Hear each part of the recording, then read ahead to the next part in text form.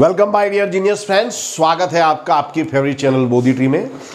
दोस्तों, आज हम कक्षा 12 का स्टेटिस्टिक का चैप्टर नंबर टू, समरेखी सहसंबंध, जिसे इंग्लिश में कहा जाता है लिनियर को रिलेशन वो सीखने वाले हैं। तो सब चीज़ एक एक चीज़ मैं आपको काफ़ी गहराई में डीपली जाके समझाऊँगा। और इस वीडियो को देखने के बाद आपके दिमाग में कोई भी संशय डाउट नहीं रहेगा। तो करना क्या है आपको? आपको सारे पार्ट्स देखने होंगे। अगर आपको पूरे मार्क्स लाने हो तो सारे पार्ट्स देखने होंगे। चैनल को सब्सक्राइब करना होगा। सो नाउ लेट्स स्टार्ट सहसंबंध अर्थात क्या? तो दो चरों की कीमत में प्रत्यक्ष अथवा परोक्ष कारणों से एक साथ कमी अथवा वृद्धि हो तो उनके बीच सहसंबंध है, ऐसा कहा जाएगा। ये व्याख्या भी आपको याद रखनी है। अभी मैं आपको समझाऊं। चर मतलब क्या? चर को इंग्लिश में कहते हैं वेरिएबल वेरिएबल यानी जिसकी कीमत में वेरिएशन बदलाव आता रहता है। जैसे मैंने लिखा फॉर एक्स इसमें चार जो है, ये अचर है। इसे कांस्टेंट भी कहते हैं। और ये है आपका चर अथवा चल, जो भी कहे, इसे कहते हैं वेरिएबल ये याद रखिएगा। मैं जनरली देखता हूँ कि स्टूडेंट्स में जो शब्दों को लेकर के काफ़ी प्रॉब्लम्स रहती है तो शब्द आपको याद देने चाहिए। प्रत्यक्ष अथवा परोक्ष, ये समझ भी, शब्द भी समझिए। प्रत्यक्ष है ना, ऐसी चीज़ जो आपको दिखाई दे, और परोक्ष यानी जो आपको दिखाई नहीं दे, फिर भी उसका प्रभाव बना रहता है, वो है परोक्ष।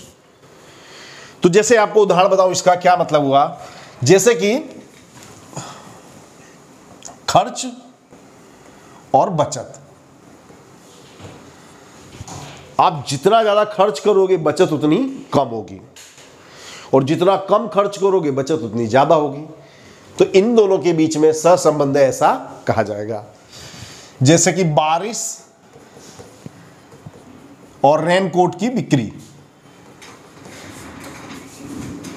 तो जैसे जैसे जैसे बारिश बढ़ेगी, रेनकोट खरीदने वालों की संख्या बढ़ती जाएगी।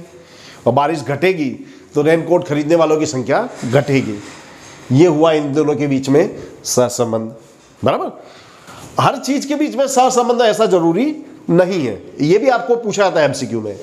दिए आपको उदाहरण दिए जाएँगे, पूछेंगे, इनमें से किसके बीच में सहसंबंध नहीं है, बताइए। जैसे कि पेट्रोल का भाव और शादी की संख्या। तो भाई, पेट्रोल की कीमत घटे, बढ़े, उससे शादी पे कोई फ़र्क पड़ता नहीं है। बराबर? जैसे कि पेट्रोल की कीमत और व्यक्ति की उम्र, इनके बीच में कोई संबंध है ही नहीं। तो सहसंबंध अर्थात क्या? ये आपको स्पष्ट हो जाएगा। अब है समरेखी सहसंबंध। तो याद रखिए, दो चर है एक्स और वाई अगर इनके संबंध को अपने इन दो समीकरणों से दिखा सकें, याद रखें y is equal to a plus b x अथवा x is equal to c plus d y ये दोनों समीकरण के रूप में उसको अपने गणितीय स्वरूप में दर्शा सके तो उनके बीच में समरेखी सहसंबंध ऐसा कहा जाएगा। यानी उसको आप गणित की लैंग्वेज में दर्शा सकते हो तो ही वो समरेखी संबंध है। ओके और सहसंबंध गुणांक। तो यादर्च्छिक चर x और y के बीच समरेखी संबंध के परिणाम को, यानी इनके x और y अपने लिया तो उनके भी ये जो समीकरण है, इसकी जो वैल्यू आती है, वो हुआ उसका सहसंबंध गुणांक। अंग्रेज़ी में कहेंगे को रिलेशन को एफिशियंट ओके और याद रखना, इसकी, इसको आर से दर्शाते हैं और इसकी वैल्यू इस तरह से होती है। R is equal to greater than equal to minus one and less than equal to plus one जो सहसंबंध गुणांक होता है, इसे आर से दर्शाते हैं। ये भी याद रखिएगा। और इसकी value greater than equal to minus one and less than equal to plus one होती है। अगर आर बराबर माइनस वन है तो संपूर्ण ऋण सहसंबंधांक कहा जाएगा। और आर बराबर प्लस वन है तो संपूर्ण धन सह संबंधांक है ऐसा कहा जाएगा। ओके? अब देखिए, ये जो सहसंबंधांक ज्ञात करने की तीन पद्धतियाँ, ये याद रखिए, बोर्ड में काफ़ी बार पूछा चुका है, आपको याद रखना है। पहली है काल पियर्सन की गुणन प्रघात की रीत। दूसरी है प्रकीर्ण आलेख की रीत। स्केटर डायग्राम कहते हैं इस मेथड को। तो ये सबसे आसान मेथड है। प्रकीर्ण आलेख की जो रीति है, ये सबसे आसान। दोस्तों, मैं जब आपको ये सब चीज़ें समझा रहा हूँ, इसमें बहुत से प्रश्नों के उत्तर आपको मिलते जाएँगे। तो आपको ये जो थियरी है, इसको लिख भी लेना है। मैं जनरली नोटिस किया है मैंने कि स्टूडेंट से थियरी से नफरत करते हैं। सवाल बड़े आसानी से प्रेम से कर लेते हैं, लेकिन थियरी की बात आती है तो भाई उससे नफरत करते हैं। वो बोल देते हैं आई हेट यू नहीं चलेगा भाई। आपको थियरी से भी मोहब्बत करनी पड़ेगी। अगर हंड्रेड परसेंट मार्क्स चाहिए तो। ओके सो प्रकीर्ण आलेख की रीत, ये आसान मेथड है। लेकिन इसकी एक त्रुटि है कि इसमें सहसंबंध की जो घनिष्ठता है, उसका आइडिया अपने को नहीं मिलता है। और तीसरी मेथड जो है, वो है स्पियरमैन की क्रमांक सहसंबंधांक की रीति। ये तीन मेथड आप लोग याद रखिएगा। कार्ल पियर्सन की गुणन प्रघात की रीत प्रकीर्ण आलेख की रीत और स्पियरमैन की क्रमांक सहसंबंधांक की रीति। ये तीन मेथड है जिसके द्वारा हम सहसंबंधांक को ज्ञात कर सकते हैं। एक एक करके हम इन सब चीज़ों को देखने वाले हैं।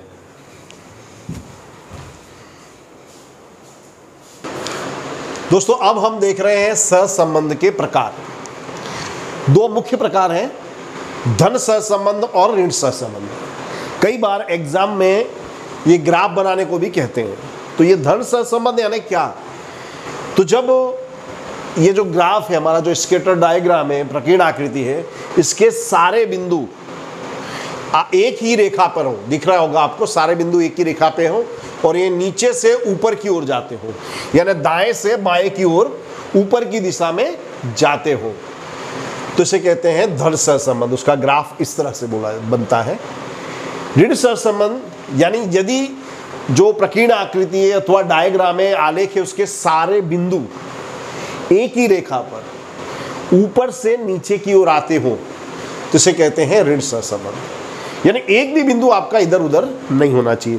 देखो आर बराबर प्लस वन होवे तो धन सहसंबंध होता है। आर बराबर माइनस वन होवे तो ऋण सहसंबंध होता है। सहसंबंध का अभाव। सहसंबंध का अभाव यानी देखिए ग्रा, ग्राफ को देखिए ये जो ग्राफ है बोर्ड में पूछा जा चुका है कि सहसंबंध के अभाव को दर्शाने वाला प्रकीर्ण आकृति बताइए, बनाइए। तो देखिए, इसमें सारे बिंदु सब बिखरे हुए हैं। ये किसी भी एक पर्टिकुलर रेखा पर नहीं स्थित है। तो यहाँ पर सहसंबंध का अभाव, यानी इनके बीच में किसी भी प्रकार का सहसंबंध नहीं है। क्लियर अब ये चीज़ याद रखिए, ये आपको सवालों में बहुत ही ज़रूरत पड़ती है और इसको थियरी के रूप में एग्ज़ाम में पूछा भी जाता है। सहसंबंध गुणांक की विशेषता है। तो सहसंबंध गुणांक का मूल्य माइनस एक और प्लस एक के अंतराल के बीच में होता है। ये मैं ऑलरेडी आपको बता चुका हूँ। ये देखिए, जो आर है उसकी value greater than equal to minus one and less than equal to plus one होती है। यानी आपने सवाल हल करने बैठे हो तो अगर आपका आर की वैल्यू आए one point something two point something तो समझ लेना आपने कहीं गलती की है। ओके? यानी आर की value greater than equal to minus one और less than equal to plus one होती है। और ये मत बता ही चुका हूँ आर बराबर प्लस वन हो तो संपूर्ण धन संबंध आर बराबर माइनस वन हो तो संपूर्ण ऋण संबंध ओके एक्स और वाई के बीच का सहसंबंध गुणांक, यानी आर एक्स वाई y और x के बीच का सहसंबंधांक आर वाई एक्स समान होते हैं। तो देखिए, x का y पर से सहसंबंधांक ज्ञात कीजिए या वाई का एक्स पर से? वैल्यू दोनों की एक समान आती है। ये इंपॉर्टेंट चीज़ है। उद्गम बिंदु और प्रमाण माप परिवर्तन का सहसंबंध पर कोई प्रभाव नहीं पड़ता। बहुत इंपॉर्टेंट है। आपको x और y की वैल्यू दी जाएगी। तो x और y के जो अवलोकन है, उसमें आप कोई भी चीज़ प्लस कीजिए या माइनस कीजिए, गुणा कीजिए या भाग कीजिए तो भी आर की वैल्यू पर कोई फ़र्क नहीं पड़ता। इस लाइन का ये मतलब है। उद्गम बिंदु और प्रमाण माप परिवर्तन। यानी कि एक्स और वाई की जो वैल्यू होती है आपकी, उसके एक्स या वाई दोनों दोनों के अवलोकनों में आप कोई भी चीज़ प्लस कीजिए, कोई भी चीज़ माइनस कीजिए, गुणा कीजिए अथवा भाग कीजिए, उसकी कीमत पर कोई फ़र्क नहीं पड़ता। ये है, ये वाली लाइन सहसंबंध गुणांक इकाई से मुक्त है, यानी जो सहसंबंधांक आपका आता है, उसको आप मीटर सेंटीमीटर रुपया, पैसा ऐसी कोई भी इकाई में उसको नहीं दर्शाया जाता है। क्लियर अब ये चीज़ याद रखिए, बोर्ड में अक्सर ये सवाल आता ही है। जैसे आर माइनस एक्स वाई यहाँ पे आपका एक्स माइनस है तो ये क्या हो जाएगा? माइनस आर एक्स वाई यहाँ पे आपका y माइनस है तो माइनस आर हो जाएगा। अगर दोनों माइनस हुए यहाँ पर तो जो आपका आर है वो क्या आएगा? पॉजिटिव आएगा, क्योंकि माइनस माइनस प्लस ओके तो ये सारी चीज़ें आपको दिमाग में लिखने लेनी है। चोपड़े के, खोपड़े के साथ साथ चोपड़े में, दोनों जगह पे आपको लिख लेनी है ओके दोस्तों, अब हम सूत्र देख रहे हैं। ये है ओरिजिनल सूत्र, इसपे से सारे सूत्र बने हुए हैं। क्या सूत्र है? Covariation of x y upon s x into s y covariation यानी इसको बोलते हैं सह विचरण को वेरिएशन यानी सह विचरण बराबर? इसका और एस एक्स बराबर होता है एक्स का प्रमाप विचरण एस वाई यानी वाई का प्रमाप विचरण। ये एस एक्स का फॉर्मूला है। इसी तरह एस वाई का भी हो जाएगा।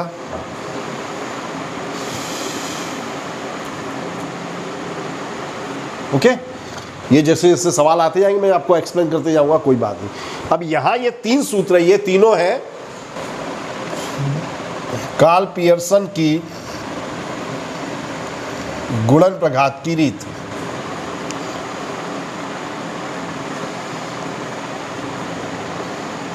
बराबर? पहला सूत्र याद रखिए।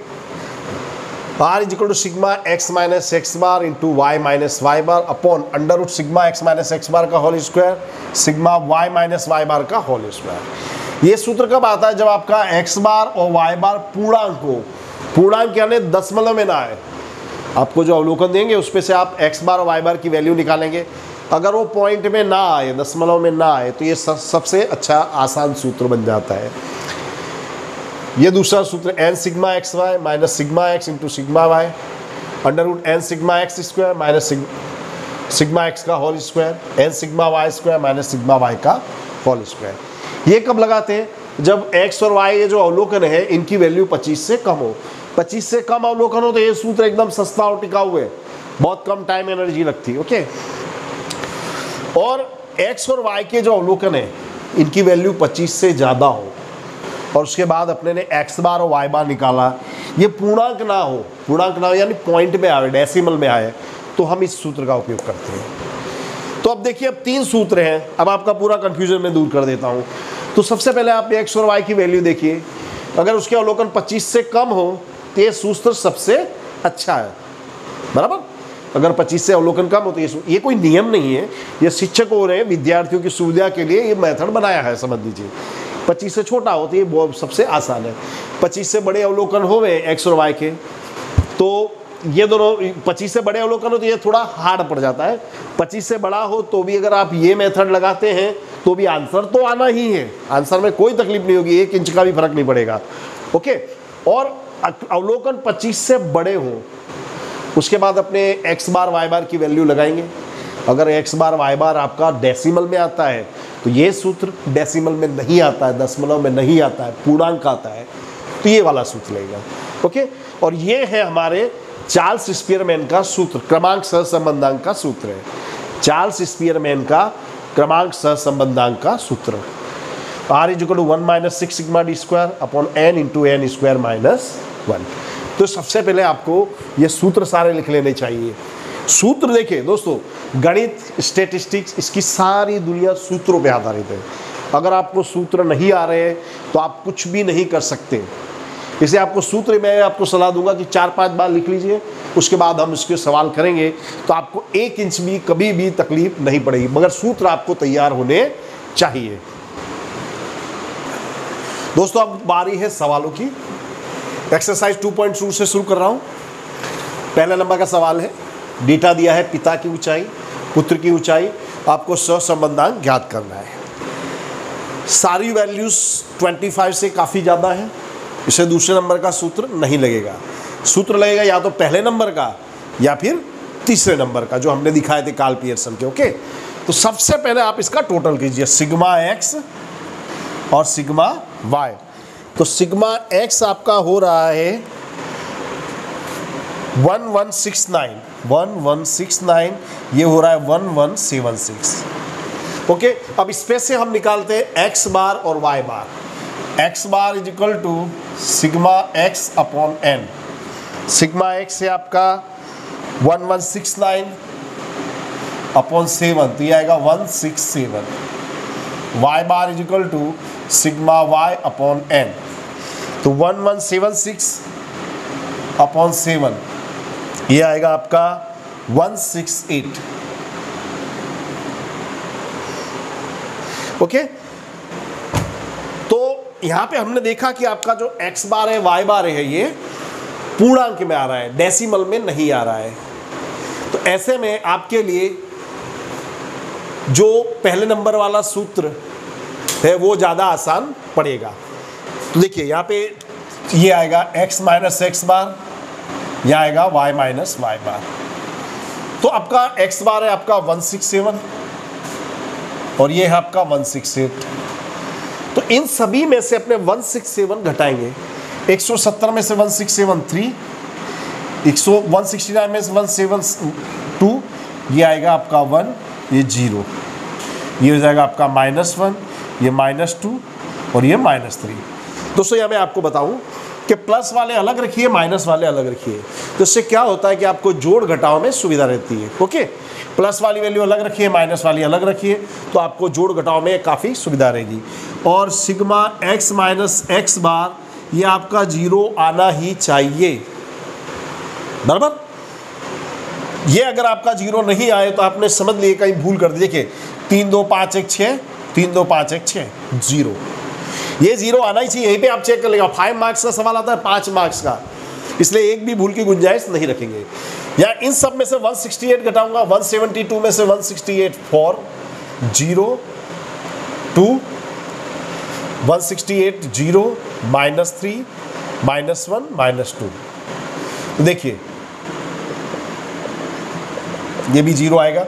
तीन दो पाँच एक छः, चार दो छः। क्लियर अब यहाँ पर इन दोनों का गुणा।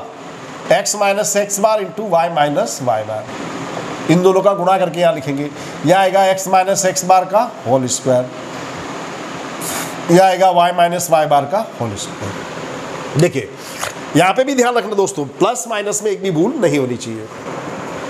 तीन चौक बारह, दो गुणे ज़ीरो ज़ीरो, दो एकम दो, ज़ीरो गुणे ज़ीरो ज़ीरो तीन एकम तीन, दो एकम दो। माइनस माइनस का गुणा प्लस। ओके? एक भी भूल की गुंजाइश नहीं होनी चाहिए। तीन दूनी छः तो sigma x minus x bar into y minus y bar. ये हो जाएगा छः दो, आठ, तीन, ग्यारह और बारह, तेईस, दो, पच्चीस। ओके? यहाँ हम इनका स्क्वायर करके रखेंगे। तीन का वर्ग नौ, दो का वर्ग चार, एक का वर्ग एक, ज़ीरो, एक का वर्ग एक दो का वर्ग चार, तीन का वर्ग नौ। इसी तरह यहाँ चार का वर्ग सोलह, ज़ीरो, दो का वर्ग चार, ज़ीरो, तीन का वर्ग नौ। माइनस वाली संख्या का वर्ग भी प्लस होता देखो, माइनस थ्री का होल स्क्वायर, यानी minus three into minus three तो माइनस माइनस प्लस हो जाएगा। ये याद रखिएगा। दो का वर्ग चार छः का वर्ग छत्तीस। टोटल कर दीजिए। नौ एक दस चार चौदह नौ एक दस चार चौदह चौदह चौदह, अट्ठाईस।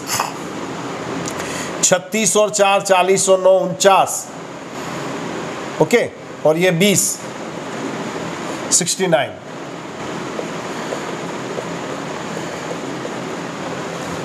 तक ख्याल आ गया होगा दोस्तों आप लोगों को? अब हम लगाएँगे हमारा सूत्र।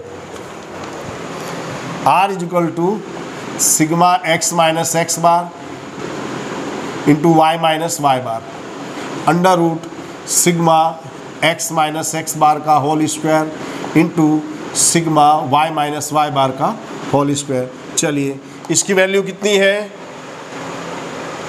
25 sigma x minus x bar का होल स्क्वायर 28 ये है आपका 69 बराबर?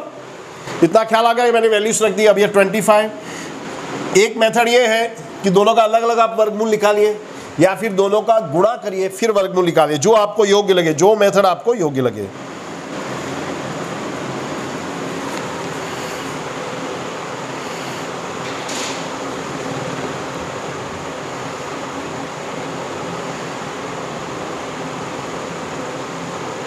वन मिनट हाँ फ्रेंड्स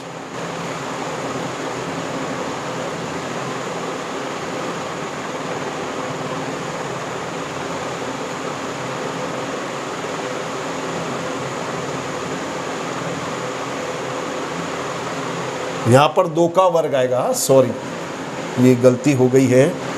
ये हो जाएगा आपका थर्टी फोर ये है थर्टी फोर सॉरी तो अब इनका वर्गमूल हम लोग निकाल लेंगे। इन दोनों का गुणा करने पे आएगा nine five two nine five two का वर्गमूल निकालेंगे। वो आएगा तीस दशमलव आठ पाँच। इससे भाग देंगे तो आएगा zero point eight one okay? फिर से देख लिए। एक सबसे पहले आपको सवाल देख के आपको आइडिया आना चाहिए कि इसमें कौन सा सूत्र लगेगा। सारी वैल्यूज़ मोर देन 25 है 25 से बड़ी है। तो या तो पहले नंबर का सूत्र शुभ रहेगा या फिर तीसरे का। तो देखिए एक्स और वाई तो हमने सिग्मा एक्स और सिग्मा वाई निकाला सबसे पहले। अब निकालेंगे एक्स बार और वाई बार एक्स बार आया आपका 167 पूर्णांक है। वाई बार आया आपका 168 पूर्णांक है। तो अगर एक्स बार वाई बार पूर्णांक होए तो पहले नंबर का जो सूत्र है वो सबसे सुविधाजनक रहता है यानी ये वाला सूत्र ओके अब देखिए इन सभी में से 167 घटाना है 170 में से 167 3 169 में से 167 2 एक में से 101 167 में से 167 ज़ीरो 166 में 167 माइनस वन तो यहाँ पे एक चीज़ खास याद रखिए, ज़ीरो वाले अलग रखिए सॉरी प्लस वाले अलग रखिए माइनस वाले अलग रखिए। तो जोड़ घटाव में काफ़ी सुविधा रहती। है और इन सब का टोटल यहाँ ज़ीरो आना ही चाहिए। ओके अब देखिए, इन सब में से 168 घटाएँगे। एक सौ बहत्तर में से एक सौ चार, एक में से एक सौ ज़ीरो, एक सौ सत्तर में से एक सौ दो, एक में से एक ज़ीरो। ये भी ज़ीरो। इन दोनों का गुणा करके लिखेंगे तीन चौक बारह, दो गुणे ज़ीरो ज़ीरो, दो एकम दो, ज़ीरो गुणे ज़ीरो ज़ीरो, तीन एकम तीन, माइनस माइनस प्लस, दो एकम दो, तीन दूनी छः इन सब का वर्ग करके यहाँ लिखेंगे, तीन का वर्ग नौ, दो का वर्ग चार, एक ज़ीरो, एक का वर्ग एक, दो का चार, तीन का नौ। इसी तरह इनका वर्ग यहाँ करेंगे, चार का वर्ग सोलह, ज़ीरो, दो का वर्ग चार, ज़ीरो, तीन का वर्ग नौ, एक एक का वर्ग एक, और दो का वर्ग चार। सबका टोटल हमने कर लिया और ये हमारा सूत्र है। वैल्यू रखी। इसके प्लेस पर आएगा आपका 25 sigma x minus x bar का होल स्क्वायर 28 ये 34 अब क्या करेंगे? इन दोनों का गुणा करेंगे 952 952 का वर्गमूल ये अंडर रूट में है। तो यहाँ तीस दशमलव आठ पाँच। इससे भाग देंगे तो आएगा ज़ीरो पॉइंट इक्यासी। इसके बाद भी अगर आपको कोई प्रॉब्लम हो तो दोस्त दोस्तों लोग आप कमेंट बॉक्स में लिखिएगा। अपने दोस्तों को इसके बारे में अवश्य बताइएगा ओके अब देखते हैं हम अगला सवाल। बंद करो। दोस्त, अब देखिए दोस्तों सेकंड नंबर का सम देख रहे हैं हम एक्सरसाइज 2.2 का। तो सबसे पहले हम सिग्मा एक्स निकालेंगे। सिग्मा एक्स सिग्मा वाई सबका टोटल दो चार छः चार, दस, ये हो जाएगा 180 और ये है आपका 132 ओके? तो now x bar is equal to sigma x upon n 180 बटे में 6 कितना आया? 30 छः कहाँ से आया? देखिए, एक, दो, तीन, चार, पाँच छः और ओकनों की संख्या है छः okay? Now y bar is equal to sigma y upon n 132 बटे छः छः दूनी बारह छः दूनी बारह। ये आया बाईस। तो हमारा यहाँ पे एक्स बार और वाई बार है, ये पूर्णांक में आ रहा है। तो जब ये एक्स बार वाई बार आपका पूर्णांक में आए तो जो पहले नंबर का सूत्र है, जो हमने इससे पहले देखा था, वही आपका लगेगा।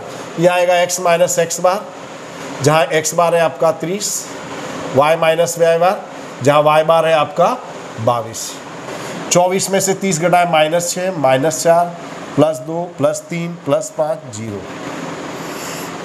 और ये चेक कर लेने का ऑन द स्पॉट ये ज़ीरो आना चाहिए। पाँच, तीन, आठ, दो, दस, छः, चार, दस।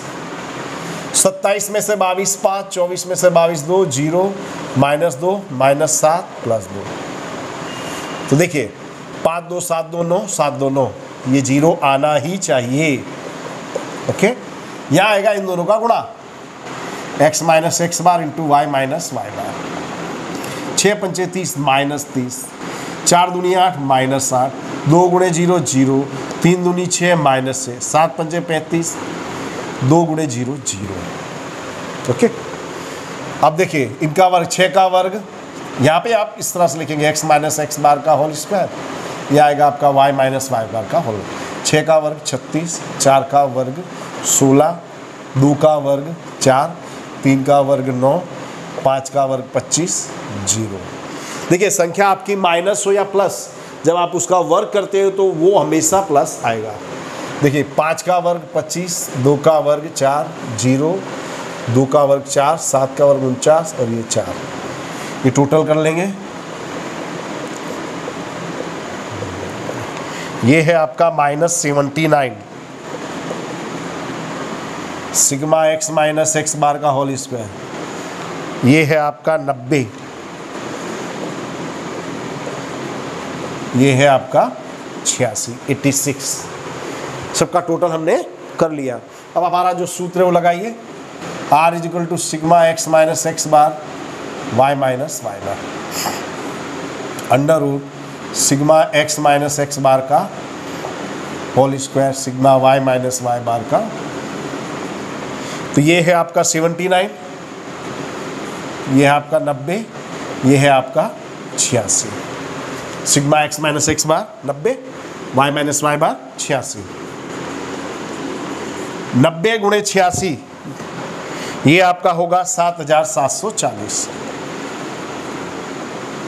अब क्या करेंगे? सात हज़ार सात सौ चालीस का हम निकालेंगे वर्गमूल। तो वो आएगा आपका zero eighty seven point nine eight. इससे इसमें भाग देंगे। तो हमको मिलेगा ज़ीरो पॉइंट नाइन ज़ीरो। बराबर? ये माइनस था सॉरी माइनस था, इसलिए हमारा जो आंसर है वो माइनस रहेगा। वन सेकेंड फिर से देख लिए। सबसे पहले सवाल देख के हमको आइडिया आना चाहिए कि इसमें कौन सा सूत्र है वो योग्य लगेगा। तो सारी values more than twenty five है। फिर हमने एक्स बार वाई बार निकाला। एक्स बार वाई बार आपका पूर्णांक आ रहा है, दशमलव में नहीं आ रहा है। तो ये सूत्र हमारे लिए सबसे सुविधाजनक रहेगा। तो देखिए एक्स बार है तीस वाई बार है बाईस सब में से तीस घटाइए चौबीस में से तीस माइनस छः छब्बीस में से तीस माइनस चार बत्तीस में से तीस दो तैंतीस में से तीस तीन तैंतीस में से तीस पाँच इसी तरह इन सब में से वाई में से पच्चीस घट बाईस घटाएँगे सॉरी सत्ताईस में से बाईस पाँच चौबीस में से बाईस घटाया दो बाईस में से बाईस घटाया ज़ीरो बीस में से बाईस घटाया माइनस दो पंद्रह में से बाईस घटाया माइनस है चौबीस में से बाईस घटाया दो अब यहाँ क्या करेंगे? इन दोनों का गुणा, x minus x bar into y minus y bar छः पंचे तीस माइनस और प्लस का गुणा किया माइनस चार दुनी आठ, दो गुणे ज़ीरो ज़ीरो, तीन दुनी छः प्लस और माइनस का गुणा माइनस पाँच सत्ते पैंतीस प्लस और माइनस का माइनस अभी इनका वर्ग करके यहाँ लिखिए छः का वर्ग छत्तीस, चार का वर्ग सोलह, दो का वर्ग चार, तीन का वर्ग नौ, पाँच का वर्ग पच्चीस, ये ज़ीरो। इनका वर्ग यहाँ लिखेंगे, पाँच का वर्ग पच्चीस, दो का वर्ग चार, ज़ीरो, दो का वर्ग चार, सात का वर्ग उनचास, दो का वर्ग चार। सबका टोटल हमने लिख दिया, ये हमारा सूत्र है। तो sigma x minus x y into y minus y y कितना है? माइनस सेवनटी नाइन इसकी वैल्यू कितनी है? नब्बे। इसकी वैल्यू कितनी है? छियासी। नब्बे गुणे छियासी करेंगे तो आएगा सात हज़ार सात सौ चालीस। अब सात हज़ार सात सौ चालीस का हम निकालेंगे, वर्गमूल होगा eighty seven point nine eight. इससे इसमें भाग देंगे तो हमको मिलेगा माइनस ज़ीरो तो दोस्तों, यहाँ मैं पहला जो भाग है इस चैप्टर का, उसको पूरा कर रहा हूँ। और इसके मैं सारे जो पार्ट्स है वो आपको बताऊँगा, सारे मेथड आपको मिलने वाली है। तो चैनल को लाइक और शेयर कीजिएगा। Thank you very much friends